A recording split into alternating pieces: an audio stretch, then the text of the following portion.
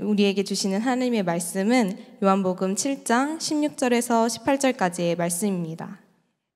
예수께서 대답하여 이르시되 내 교훈은 내 것이 아니요 나를 보내신 이의 것이니라 사람이 하나님의 뜻을 행하려 하면 이 교훈이 하나님께로부터 왔는지 내가 스스로 말함인지 알리라 스스로 말하는 자는 자기 영광만 구하되 보내신 이의 영광을 구하는 자는 참되니 그 속에 불의가 없느니라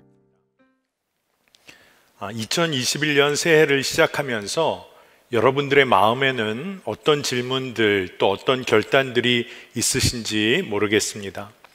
아마 새해를 맞이하면서 여러분들 안에 하나님의 뜻은 과연 뭘까? 나를 향한 하나님의 뜻은 어떤 것일까? 아마 이런 질문들 많이 하게 되실 겁니다. 이 길이 정말 하나님의 뜻일까? 인도하심일까? 이런 질문을 가져보면서 새로운 삶을 한번 살아봐야겠다. 이런 마음 드실 거예요. 그리고 지금 내가 품고 있는 이 마음이 하나님으로부터 온 마음일까? 아마 이런 질문들 하면서 새해를 시작하시리라 생각을 합니다. 그런데 저는 이런 생각을 한번 해보게 되었어요. 정말 우리가 하나님의 뜻을 모르는 것일까? 우리가 진짜 하나님의 마음을 모르는 것일까? 그래서 행하지 못하는 삶을 사는 걸까? 이런 질문을 마음에 품게 되었습니다. 예수님 당시에도 예수님을 둘러싼 많은 사람들이 그들 마음에 질문을 갖고 있었어요. 많은 질문을 갖고 있었습니다. 예수님의 말씀을 들으면서 그 말씀이 너무나 새롭고 놀랍고 도전이 되는 말씀을 듣게 되니까 예수님에 관하여서 의견들이 굉장히 분분했습니다. 유대 백성들의 정말 선한 지도자인지 아니면 미혹하는 자인지 궁금해 했습니다. 그 가르침이 어디로부터 오는 것인지, 진정, 진정 하나님으로부터 온 것인지, 아니면 그저 사람의 소리인지, 사람들이 조금은 혼란스러워 했다는 것이죠. 그런데 예수님께서 이런 질문들을 가진 사람들에게 너무나 정확하게 말씀을 하십니다. 오늘 이 예수님의 말씀을 우리도 새해를 시작하면서 우리 마음에 들게 되는 하나님의 뜻에 관하여 우리가 알기 원하는 그 질문들에 대한 답으로 우리가 좀 받았으면 좋겠습니다. 요한복음 7장 17절 말씀입니다. 사람이 하나님의 뜻을 행하려 하면 이 교훈이 하나님께로부터 왔는지 내가 스스로 말함인지 알리라. 아멘입니다. 하나님의 뜻을 행하려고 하면 그리고 하나님의 뜻대로 순종하려고 하면 그 가르침이 하나님으로부터 온 것인지 아니면 그 다른 어떤 것으로부터 온 것인지를 분별할 수 있게 될 거라고 예수님이 말씀해 주고 계세요. 여러분, 우리가 머리로만 알고 있는 것, 사실 진짜 삶의 현장에서는 힘을 발휘하지 못할 때가 많은 것을 보게 됩니다. 예수님께서는 하나님의 뜻을 행하려 할 때 그 하나님의 마음, 그 비밀을 알게 될 거라고 말씀하고 계세요. 여러분, 책으로 책으로 수영을 배우신 분이 계십니까? 여러분 책으로 운전을 배우신 분들이 계십니까? 실제로 물에 들어가 봐야 도로에 한번 차를 가지고 나가 봐야 수영도 운전도 제대로 배우게 되는 것이죠. 우리가 하나님의 뜻을 알고 그 뜻대로 살기를 원한다고 할 때 한 가지 중요한 원칙이 있습니다. 그것은 하나님의 뜻을 행하려는 마음, 그것이 너무나 중요하다는 거예요. 당시 유대 사람들에게는 아주 명확한 하나님의 뜻, 말씀이 있었습니다. 머리로는 다 알고 있었어요. 하나님을 생명 다해 사랑하라. 이거를 그 당시에 모르는 유대 사람들이 있었을까요? 그런데 그들 중에는 하나님보다 돈을 더 사랑하는 사람들 많이 있었습니다. 그 당시에 하나님을 생명 다해 사랑해야 한다는 하나님의 말씀 그 계명을 너무나 분명히 알고 있으면서도 로마 권력의 편에 섰던 사람들 많았습니다. 그러니까 알지만 행하지 않는 삶이 있었다는 거죠. 하나님의 마음을 알면서 행하지 않을 때 하나님, 그 구체적으로 하나님께서 우리에게 주신 가르침들이 뜻이 희미해진다는 것을 우리가 알아야 합니다. 온전히 하나님께 영광을 돌리기 위해서 하나님의 뜻을 행하려고 하면 구체적인 그 실천과 행함 속에서 하나님이 인도하고 계시다는 것을 우리는 알게 됩니다. 하나님의 구체적인 인도하심과 그 마음을 더 깊이 알아가게 되는 거예요. 그런데 그렇지 못한 경우도 있었어요. 예수님 당시에 안식일법을 사람들이 아주 기계적으로 율법적으로 적용했습니다. 그래서 생명을 살리는 일, 그거 굉장히 하찮게 여겼어요. 그렇게, 그렇게 안식일법 지키는 종교인들이 많이 있었습니다. 그들에 대해서 예수님이 뭐라고 말씀하셨습니까? 율법에 따라서 너희들이 안식일에 할례를 행하면서 어떻게 사람의 몸을 온전케 하는 일, 손 마른 자를 고쳐준 일에 대해서 너희가 어떻게 그렇게 노여워할 수 있느냐? 이게 무슨 이야기일까요? 하나님의 뜻을 안다고 하면서 그리고 하나님의 뜻을 행한다고 할때그 구체적인 적용이 하나님의 뜻과 마음과 멀어질 수도 있다는 거예요. 왜 그럴까요? 하나님의 영광을 위해서 하나님의 뜻을 행하려 하는 것이 아니라 자기의 영광, 자기의 이익을 위해서 하나님의 뜻을 행하려고 하면 문제가 생긴다는 거예요.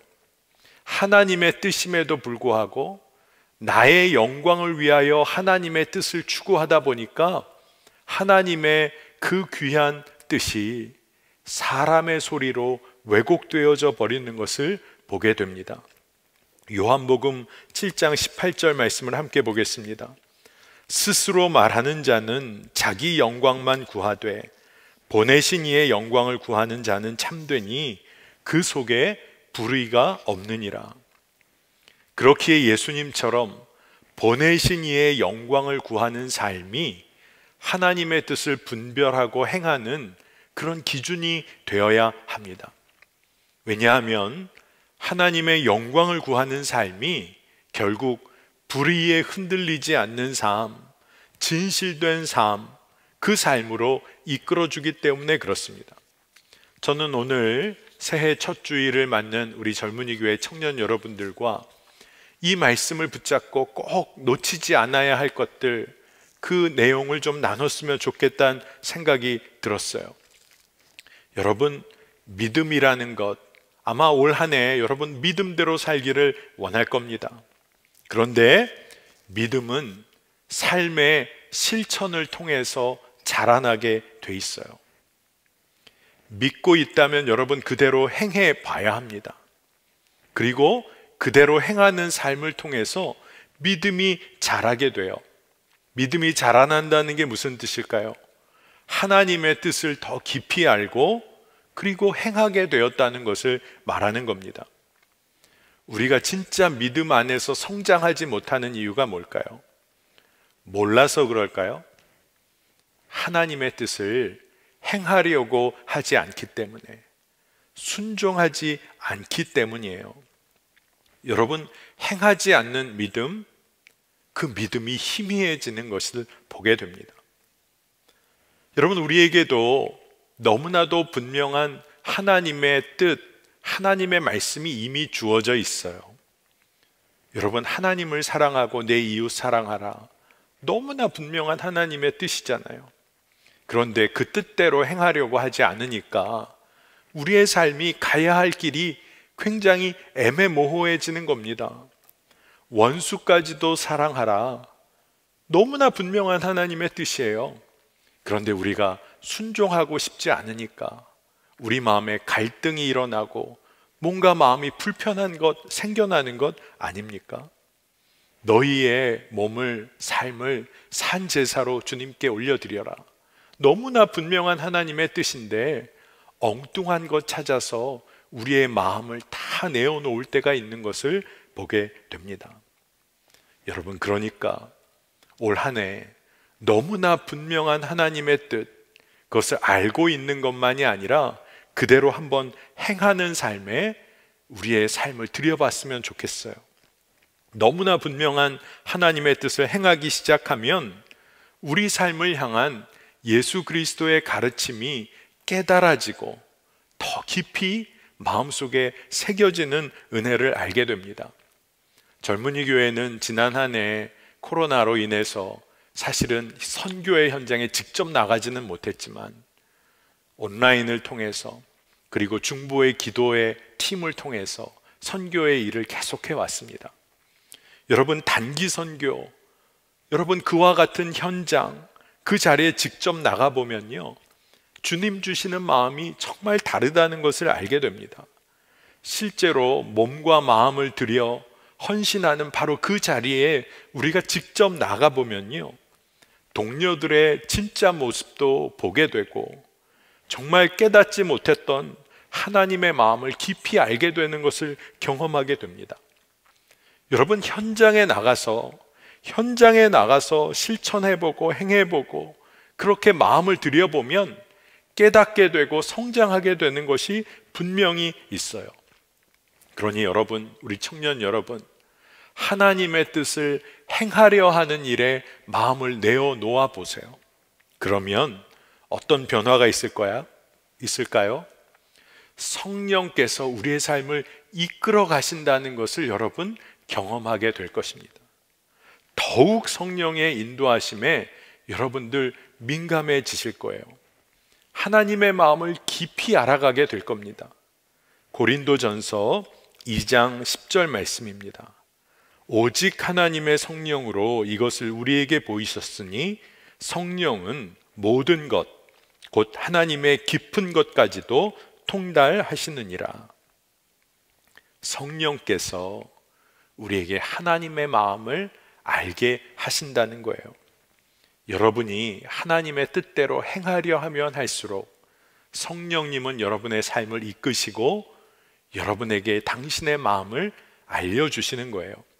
하나님의 뜻을 행하면 행할수록 선한 양심을 지키고 믿음의 반석 위에 굳게 서고 하나님의 인도하심을 경험하게 돼요. 올 한해 그런 삶을 살게 되시기를 축복합니다. 여러분이 진짜 성령의 인도하신 대로 하나님의 뜻대로 살기 시작하면요. 아마 주변에 보이는 것들이 있을 거예요. 세상의 영의 마음을 내어주고 하나님 부어주시는 마음 따라 살지 못하는 사람들이 보일 거예요. 그러면 그때 여러분 판단하고 정죄하는 것 아니라 그 사람들 한 사람 한 사람을 향한 주님의 마음을 여러분이 알게 되니까 더욱 위하여 중보하게 되는 경험도 여러분 하게 되실 거예요. 하나님의 뜻 행하지 않고 내 뜻 주장하고 그래서 내 마음대로 살려고 고집하면 할수록 우리는 우리의 마음이 불안해지고 또한 믿음의 반석 위에 섰던 삶이 흔들리는 것 경험하게 될 것입니다. 그러니까 여러분 어떻게 살아야 합니까? 하나님의 뜻을 분별해서 행하는 것, 다시 말해서 주님과 더 깊이 교제하는 삶, 그 삶으로 나아가야 되는 거예요. 우리가 하나님을 믿는다고 한다면 하나님의 마음을 알, 알 뿐만 아니라 그리고 행한다는 것을 의미하는 것입니다. 아마 여러분들 중에는 그런 질문도 할 거예요. 목사님, 믿음이 생겨야 행하게 되지 않을까요?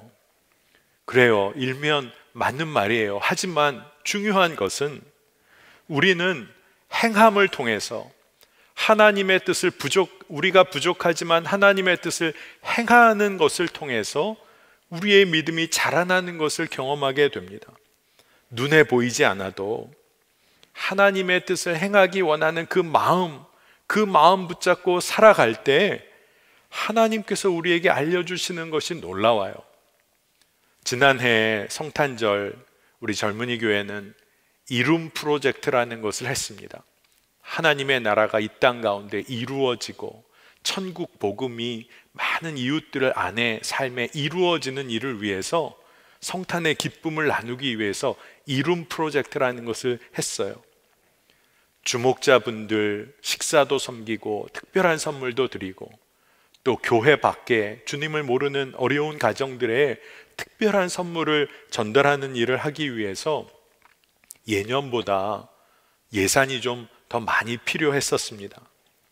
처음에는 교회의 구제기금, 목적기금에서 상당 부분 좀 재정을 좀 의존하려는 마음이 있었어요. 그런데 우리 리더들 그리고 사역자들 안에 동일하게 마음이 부어졌는데 이 재정을 다 모으는 일에 있어서 우리 청년들이 진짜 하나님의 마음에 반응해서 한번 믿음의 도전, 재정의 도전을 한번 해보자. 진정 성탄의 기쁨을 흘려보내는 일에 청년들의 헌신을 통해서 재정을 한번 채워보자. 그렇게 시작을 했어요. 조금 버거울지는 모르지만 어떻게 되는지 한번 우리가 도전해보자. 그런데 정말 버거울 것 같은 그 예산이 청년들 한 사람 한 사람의 작은 헌신들을 통해서 예상보다 아주 풍성하게 채워진 것을 많은 사람들이 경험했습니다. 실제로 그 프로젝트에 참여했던 사람들은 다 알게 된 일이에요. 여러분, 실제로 주님 주신 마음에 조금 반응해 봤더니 진짜 아주 조금 반응해 봤던 거예요. 그런데 하나님은 하나님 당신의 일을 어떻게 이루시는지를 너무나 많이, 너무나 깊게 우리에게 알려주셨어요. 제 마음에는 그런 생각이 들더라고요. 주님은 당신의 전부를 보여주고 싶어 하신다. 그런 마음이 들더라고요. 여러분 한번 생각해 보세요. 이런 일을 경험했던 청년들이 다음에 재정을 모으고 하나님 나라를 위하여 사용해야 하는 일, 그런 일을 또 앞에 맞닥뜨리게 된다면 이 일을 경험했던 청년들은 어떻게 반응하게 될까요? 여러분, 그렇기 때문에 여러분의 삶의 매 순간마다 하나님의 뜻대로 행하는 일에 도전해 봐야 하는 것입니다. 여러분, 사랑하고 섬기는 삶, 살기를 원합니다. 그렇게 기도하는 분 계실 거예요. 그러면 여러분, 그 기도와 더불어서 여러분 공동체 안으로 들어가야 돼요. 여러분에게 주어진 관계 속으로 들어가야 돼요. 거기서 헌신하고 섬기는 작은 일, 여러분이 마음을 다하여 먼저 맡아서 섬기고 헌신해 봐야 돼요. 그러면 깨닫게 되는 게 있을 거예요. 내가 사랑하고 섬기고 싶어 이 자리에 섰는데 주님은 무엇을 알려주실까요? 네가 사랑받는 존재야. 너는 나의 사랑이야. 하나님의 마음을 알게 될 거예요. 여러분, 전도하고 싶고 하나님의 그 놀라우신 복음을 증거하고 싶은 분 계시잖아요? 그러면 어떻게 해야 합니까? 부족하고 연약하지만 두려운 마음이 있지만 전도의 현장에 나가봐야 되는 거예요. 그래야 그 현장에서 역사하시는 하나님의 마음을 깨달아 알게 되는 거예요. 우리의 삶, 믿음의 삶의 신비는 우리가 하나님의 뜻을 분별하고 싶어요. 그러면 알고 나서 그대로 하고 싶은 마음이 우리에게는 너무나 많습니다. 그런데 하나님의 역사하시는 방법은 우리가 조금이라도 알게 된 그 하나님의 마음에 우리의 전부를 드리는 삶으로 나아가기 시작하면 하나님은 당신의 마음을 전부 보여주기를 원하세요. 여러분, 이러한 삶을 통해서 믿음이 성장하는 겁니다. 내일부터 신년 특별 새벽 기도회를 젊은이 교회가 갖습니다. 모일 수가 없어요. 그래서 온라인으로 새벽 예배를, 특별 새벽 예배를 하려고 합니다. 여러분, 기도의 자리, 정말로 새해의 첫 아침을 여는 시간을 하나님께 한번 드려보세요. 새벽 예배 한번 참여해 보는 겁니다.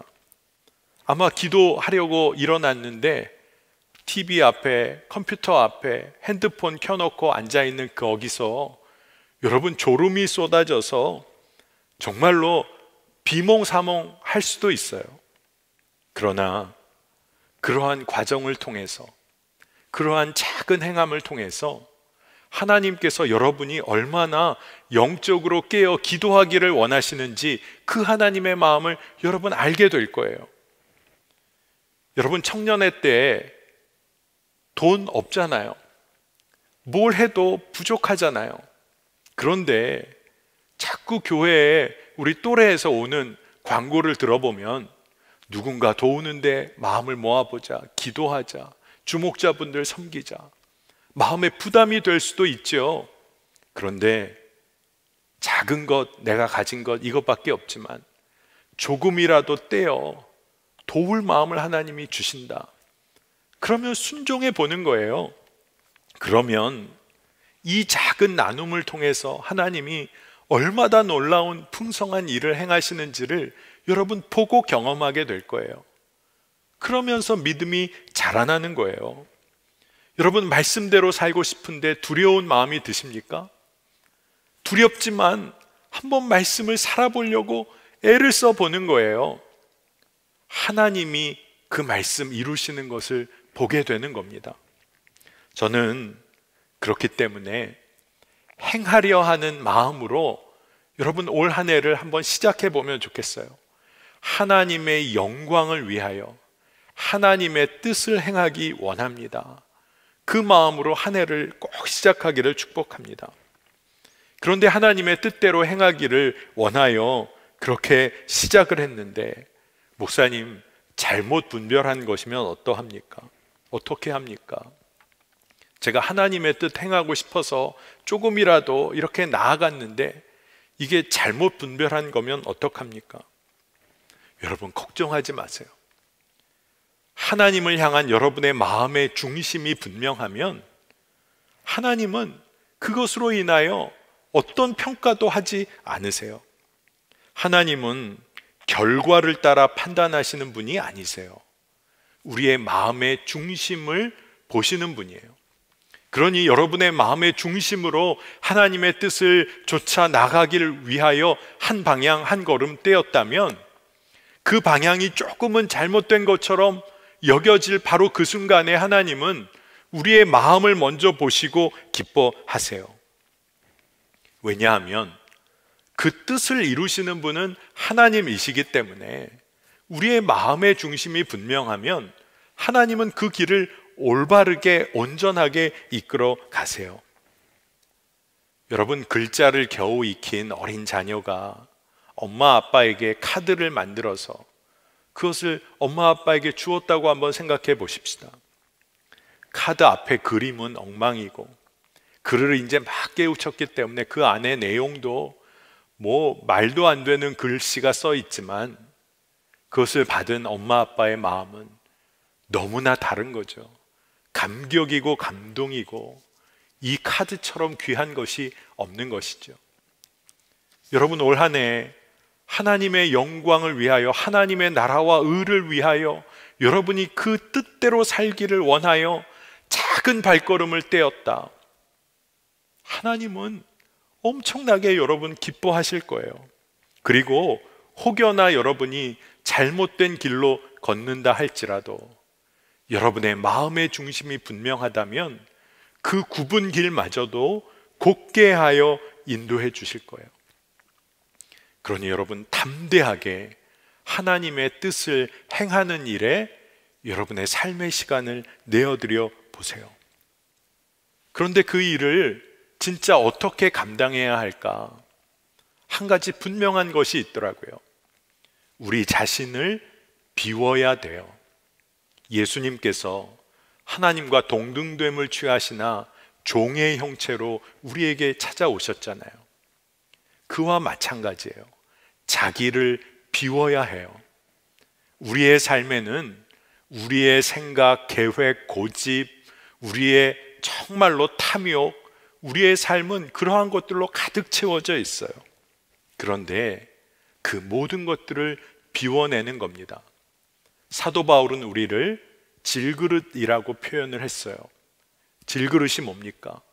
깨어지기 쉽고 연약하고 부족하고 그리고 아무 자랑할 것이 없어요.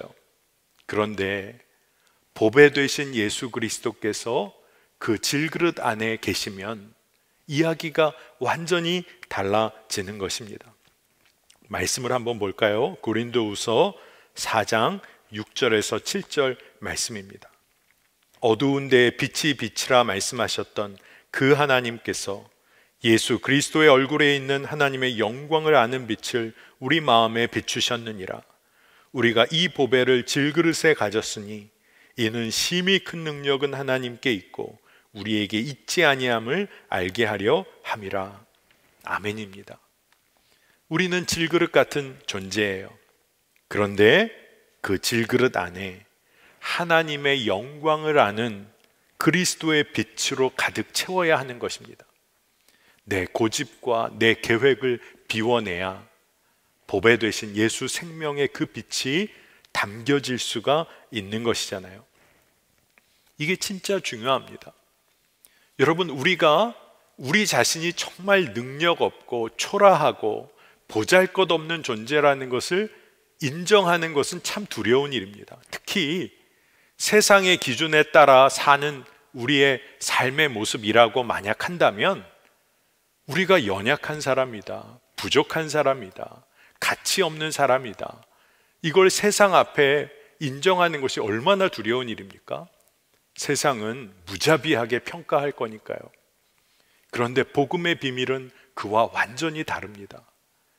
나의 삶, 내 삶에 채워졌던 더럽고 추한 모든 것을 비워내고 내가 질그릇 아무 능력 없는 존재라는 것을 인정하게 될 때 주님이 채우시는 은혜가 있는 거예요. 하나님의 능력이 그 속에 부어지게 되는 겁니다. 목회를 하면서 특히 또 젊은이 교회에서 함께 사역하면서 특별한 사역을 준비할 때면 처음에는 그런 마음이 들었어요. 아, 진짜 탁월한 스텝이 있으면 좋겠다. 우리 전도사님들 잘 감당하실 전도사님 계시면 좋겠다. 팀장들, 아유, 너무나 활발하고 모든 일을 꼼꼼하게 하는 팀장님들이 있으면 좋겠다. 그런데 놀라운 것은 하나님은 한 번도 그렇게 팀을 꾸려주지를 않으세요. 드림팀이 있으면 좋겠다. 드림팀 전혀 아니고 어떻게 이걸 해야 하지? 하나님 그렇게 팀을 꾸려주시더라고요. 그런데 진짜 놀라운 것이 있어요. 그것은 뭐냐 하면 부족하고 연약하지만 서로 서로 피차에 복종하며 하나님의 뜻을 행하려 하는 사람들을 통해서 하나님이 하나님을 드러내시더라고요. 하나님의 놀라우신 일들을 드러내시고 행하시더라고요.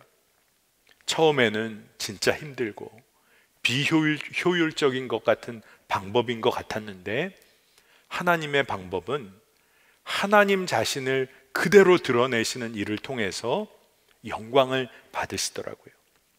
그러니까 여러분, 우리가 꼭 기억해야 할 것이 있어요.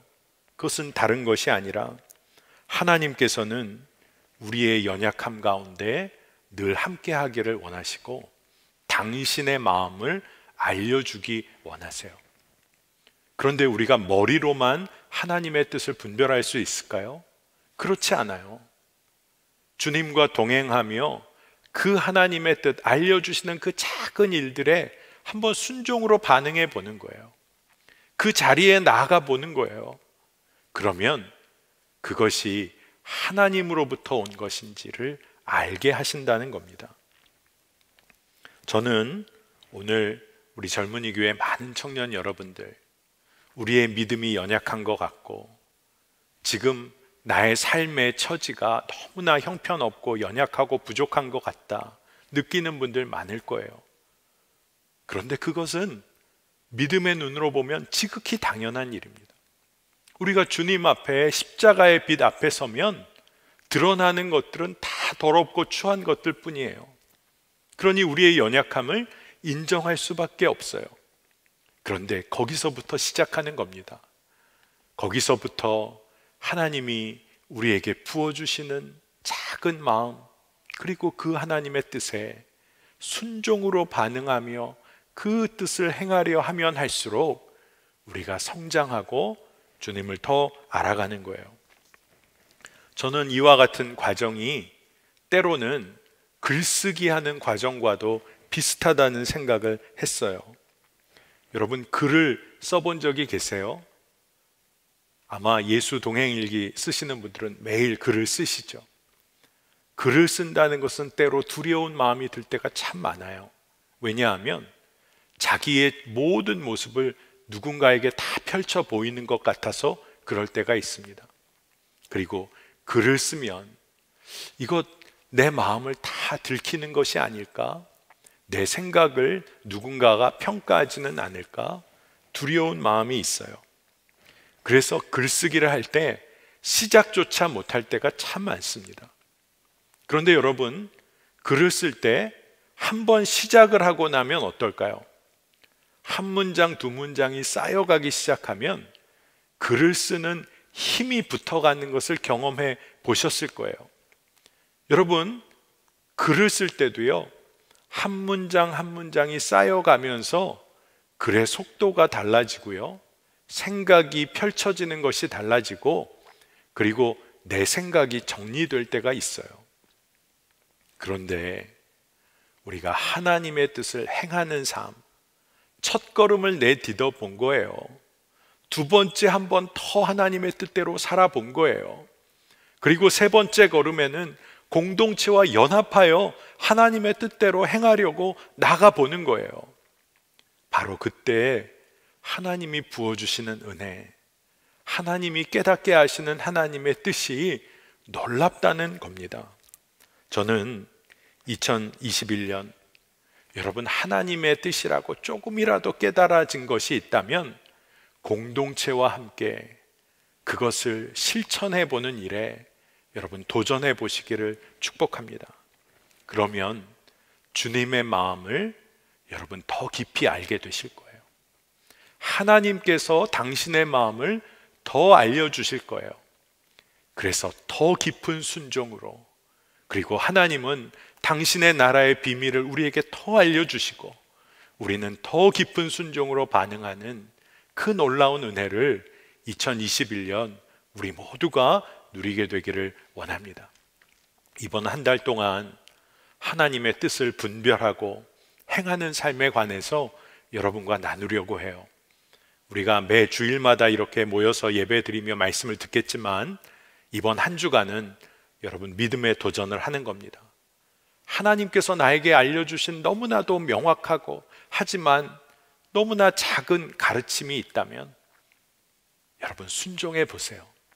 그리고 한 주 동안 어떤 일이 우리 안에 벌어지는지 우리가 삶으로 경험해 보고 또 다음 주에 우리가 함께 하나님을 예배하면서 말씀 안에서 하나님의 놀라운 인도하심을 받게 되기를 원합니다. 2021년은 하나님의 뜻대로 행하고 하나님의 마음을 알아가고 또 순종하는 한 해 되시기를 간절히 축복합니다. 자, 이 시간에 오늘 허락하신 말씀 붙잡고 우리가 먼저 연합하여 합심하여 기도하는 시간을 갖겠습니다. 기도 제목은 오늘 말씀을 들으며 여러분 반복적으로 도전받은 내용입니다. 주님이 원하시는 행함의 한 걸음, 그 한 걸음을 주님 내 삶에서 깨닫게 하여 주시고 행함으로 순종하게 하여 주옵소서. 그 순종을 통해서 더욱 알게 하시는 하나님의 마음 놓치지 않고 살아내는 기쁨을 누리게 하여 주옵소서. 우리 함께 기도함으로 나아가겠습니다. 오 하나님 감사합니다 새해 첫 주일 주의 마음을 깨닫게 하시고 하나님 그 뜻대로 행하는 삶 살게 하여 주시기를 원합니다 우리는 여전히 연약하고 부족한 존재이지만 하나님 주님 허락하시는 말씀 그 마음 붙잡고 순종함으로 반응하기를 원합니다. 오늘도 예배 가운데 말씀 가운데 깨닫게 하여 주신 하나님의 마음이 있다면 이번 한 주간 동안 우리 청년들 성도들 말씀 안에 그 마음에 반응하여 순종하는 삶을 누리게 하여 주시고 하나님의 마음 더 깊이 알려주실 때 믿음으로 반응하는 삶을 살게 하여 주시길 원하고 그 삶을 살아낼 때 부어주시는 은혜와 기쁨을 놓치지 않도록 인도하여 주시기를 원합니다. 너희가 하나님의 영광을 위하여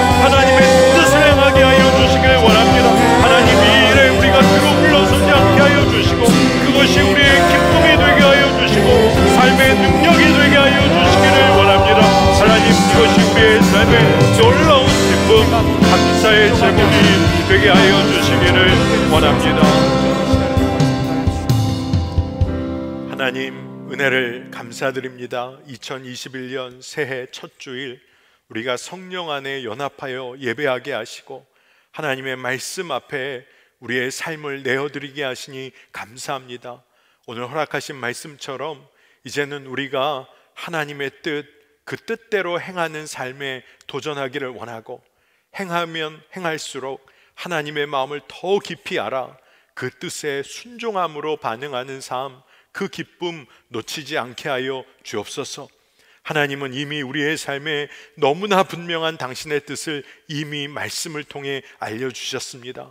우리가 사랑하고 섬기는 일, 그리고 정말로 십자가의 그 복음의 그 은혜의 빚진 자의 삶, 그렇기에 한 영혼을 귀히 여기며 생명 살리는 일에 우리의 삶을 드려야 하는 것, 이미 우리가 알고 있는 것, 삶으로 행하게 하여 주셔서 행하는 삶 가운데 부어주시는 놀라운 은혜, 하나님의 비밀을 더 깨달아 아는 삶 되게 하여 주시고, 우리 청년들과 성도들의 삶에 믿음이 더욱 자라나는 은혜가 있게 하여 주옵소서. 하나님, 새로운 한 해를 시작하였지만 여전히 삶, 삶의 외적인 형편, 어려움들이 있는 때를 보내고 있습니다. 하나님, 어려운 형편 때문에 무너지는 삶 아니라 이미 우리에게 부어주신 하나님의 은혜를 붙잡고 나누며 베푸는 삶을 우리 청년들 성도들이 살게 하여 주옵소서. 하나님의 나라 선교를 위하여 이미 곳곳에서 헌신하고 계신 우리 선교사님들, 그 믿음의 동역자들 축복하기를 원하고 우리가 그 일을 위하여 끝까지 연합하여 기도하는 중보의 기도의 끈을 놓지 않게 하여 주옵소서. 오늘 새해 첫 주일을 맞이하며 정말로 주님 주신 은혜와 사랑에 감사함으로 구별된 예물을 올려드리는 손길들이 있습니다. 주님 축복하여 주시고 저들의 삶이 평생 하나님의 나라를 위하여 쓰임받게 하시며 드릴 물질은 없지만 마음 그리고 저들의 삶에 정말로 부어주신 은혜에 감사의 마음을 기쁨으로 올려드리는 모든 청년들 성도들의 삶에 주님 베풀고 나눌 힘과 능력을 부어주시기를 원합니다. 주님, 오늘 특별히 주일 예배 함께 참여한 공익돌에 축복합니다. 청년의 시기를 시작하는 정말로 중요한 이때에 믿음의 성장이 있게 하여 주시고 믿음의 도전이 끊이지 않게 하여 주셔서 하나님의 귀한 일꾼으로 세상에 많은 사랑과 존경을 받는 주의 구별된 하나님의 자녀로 굳건히 서게 하여 주옵소서. 모든 것 감사드리며 예수 그리스도의 이름으로 간절히 기도합니다. 아멘. 이 시간에 여러분들 계신 곳에 어, 형편이 허락하신다면 모두 다 일어나셔서 오늘 주님 말씀하시면 우리 찬양을 올려 드리겠습니다.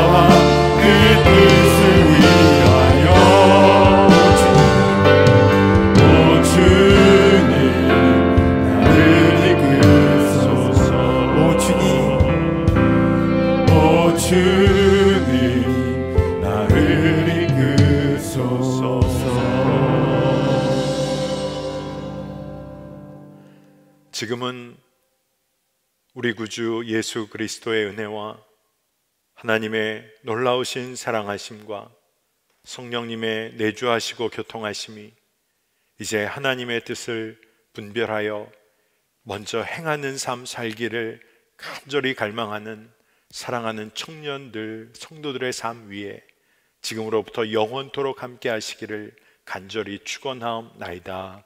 아멘.